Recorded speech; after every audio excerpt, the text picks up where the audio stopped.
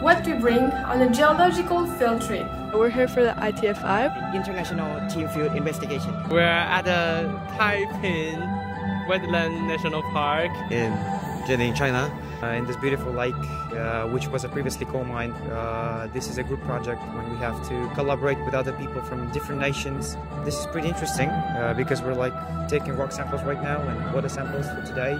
This tournament really elaborates on, on our teamwork and our cooperation. Uh, I think it was a decent choice to come here.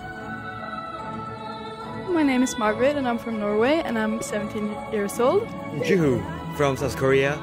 My age is 17. I'm Suniti Dendong Hatai. I'm a student from Thailand. I'm 17 years old. Alex, I'm from Team Belarus. I'm 17. Uh, my name is Alnur. I'm from Team Kazakhstan. I'm 16. Yao Yigen I'm from Taiwan.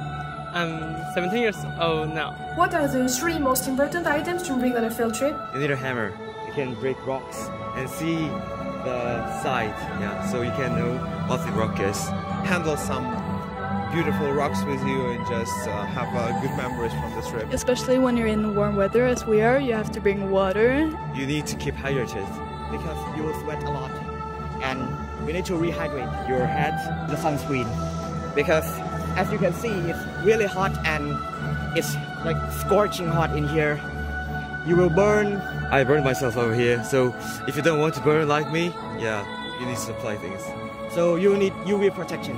I recommend bringing a fan to get the heat off. And most useful object would be this, a spray that you can use on your body.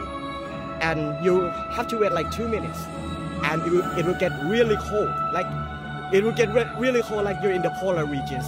Tent, because when you get like a long trip, you need to live somewhere. A camera to take pictures. A notebook so we can record things on that. That makes like our observations are more clear and suitable for our final results. GPS tracker. Not every time you have like access to your phone and the map on it.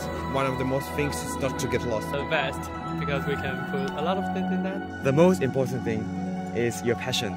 Yeah, if you have your passion, you can do everything anywhere.